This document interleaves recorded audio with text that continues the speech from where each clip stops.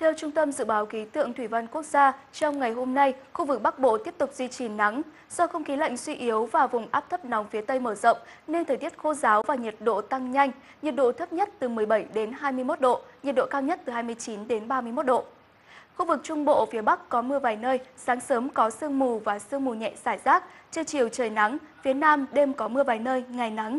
Các tỉnh ven biển từ Đà Nẵng đến Bình Thuận, từ ngày mùng 8 và ngày mùng 9 tháng 2, phổ biến đêm không mưa, ngày nắng. Khu vực Tây Nguyên và Nam Bộ đêm không mưa, ngày nắng. Từ ngày mùng 8 đến ngày mùng 9 tháng 2, Đông Nam Bộ có nơi nắng nóng.